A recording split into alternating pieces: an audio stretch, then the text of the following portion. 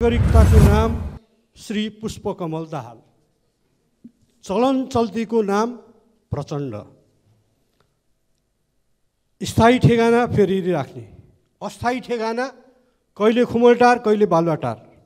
हुलिया पहिले पहिले कोट प्यान्ट लगाउने गरे पनि हात दौरा सुरुवाल र टोपी पनि लगाउने उमेर पैँसठी नागेको सत्तरी नपुगेको जस्तो देखिने।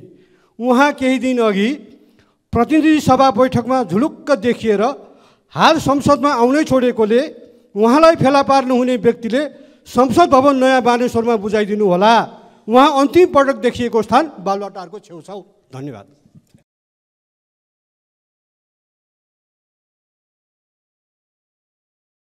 नयाँ वर्षको शुभकामना व्यक्त गर्दै नयाँ वर्षको दिन वैशाख एक गते सम्मान्य प्रधानमन्त्रीले पार्टी कार्यालयमा गएर यो व्यवस्था सङ्कटमा पर्यो यो उल्टिन लायो भनेर के सन्देश दिन खोज्नु भएको यो सार्वभौम सदन चलिरहेको बेलामा प्रधानमन्त्रीले बाहिर यो व्यवस्थामाथि सङ्कट आएको हो भने सदनमा आउनु पर्यो सदनलाई जानकारी गराउनु पर्यो सदन सूचित हुनु पर्यो कसले यो व्यवस्था उल्टाउन खोजेको छ को कारणले सङ्कट पैदा भएको हामी ती सबै चुनौतीहरूलाई सामना गर्न संसद तयार हुनुपर्छ त्यो जानकारी प्रधानमन्त्रीले सदनमा गर्नुपर्छ म यो सदन मार्फत ध्यान आकर्षित गर्न चाहन्छु। धन्यवाद।